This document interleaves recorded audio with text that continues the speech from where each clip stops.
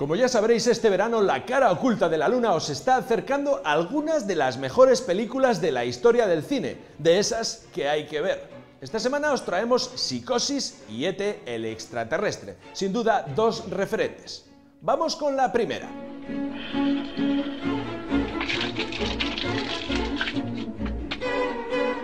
Psicosis. Dirigida por Alfred Hitchcock en 1960, sin duda un clásico del género de terror y suspense y una de las películas más conocidas de su director. Está basada en la novela homónima de Bobert Bloch.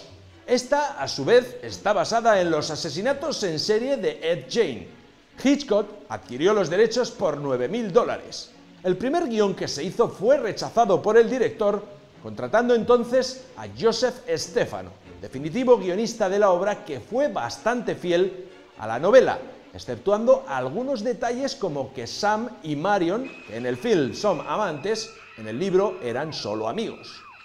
Respecto a la producción, la Paramount, que iba a subvencionar el proyecto, se negó a hacerlo por creer que esa novela era imposible de adaptar. Así que tuvo que ser producida independientemente por Samley Production, una productora televisiva del propio Hitchcock. Los decorados de la casa y el motel todavía se encuentran en pie en Universal Studios y funciona como una atracción del estudio.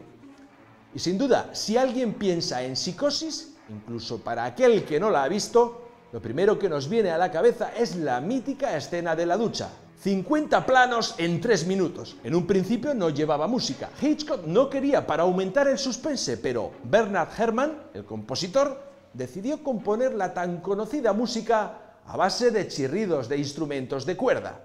Hitchcock comprobó que ayudaba en gran medida a aumentar la tensión de la escena y terminó por duplicarle el sueldo a Herrmann. Y uno de los motivos que les llevaron a rodar la cinta en blanco y negro fue precisamente esta escena la de la ducha. El director no quiso que la escena quedara muy sangrienta. La película tardó casi tres meses en rodarse y costó unos 807 mil dólares. Estuvo nominada a cuatro Oscars, aunque no ganó ninguno. Sin embargo, ha obtenido en todos estos años el gran reconocimiento y fama que se merece.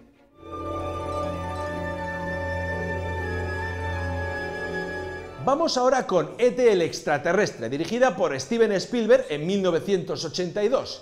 Este ser tan curioso está basado en un amigo imaginario que el propio Spielberg creó con la separación de sus padres cuando era pequeño. Como pequeños, eran gran parte del reparto del film. Spielberg se mostró muy contento con la experiencia y asegura que aquello le hizo sentirse preparado para ser padre. Hubo algunas modificaciones en la producción para que a los chavales les resultara más fácil y así sus interpretaciones fuesen más creíbles. Por ejemplo, la película se rodó prácticamente en orden cronológico para ayudarles a comprender y sentir la evolución del personaje. Como curiosidad, Henry Thomas, el actor que hace de Elliot, el protagonista, pensaba en su perro recientemente fallecido para las escenas en las que tenía que llorar. Para crear la criatura de ET se basaron en rostros como el de Einstein o Hemingway. Dos enanos y un niño que nació sin piernas se turnaban para ponerse el traje y dar vida a ET. Además, un mimo profesional lleno de prótesis claro se utilizaba para los planos de las manos. Spielberg se ocupó de que los jóvenes actores nunca vieran a estos titiriteros para mantener la ilusión del extraterrestre. Esta película se rodó con un gran secretismo. Se le puso un título encubierto. Los actores tenían que leer el guion a puerta cerrada y todos en plató tenían que usar una tarjeta identificadora. Spielberg no quería que alguien plagiara el argumento.